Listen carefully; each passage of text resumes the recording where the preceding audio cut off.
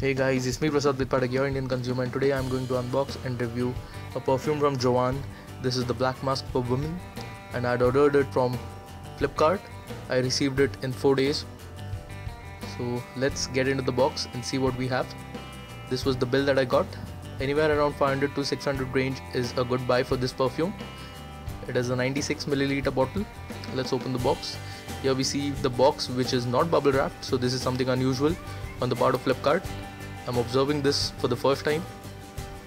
Uh, so this is how the box looks. Here are the details of the importer. This is an imported product. Jovan perfumes are mostly manufactured in North Carolina. Let's take a closer look at the box. The description of how the perfume smells. A sexy, mysterious and very sweet floral smell. That is what they have mentioned. Let's see if it does justice to that. So black and gold pink colors used which look very premium. Let's quickly open the box. So here we see the bottle which is transparent and the perfume inside which is light pink in color with a golden colored cap. So here are the details. So there you see made in US and 96 milliliters. Guys I've reviewed this perfume for about a week and to talk about the fragrance it really has a mischievous smell. It is very sweet and floral.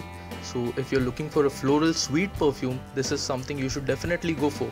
On body on directly the skin contact it lasts for around uh, 3 to 4 hours. And on fabric it will last for around 8 to 9 hours which is very nice. And uh, I really recommend this perfume. I feel the smell is really very nice. It really has an aristocratic aroma.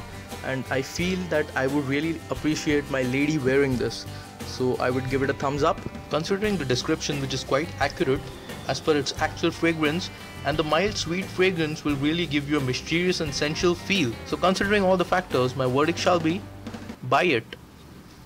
If all you viewers want me to keep making such more videos please do subscribe to my channel.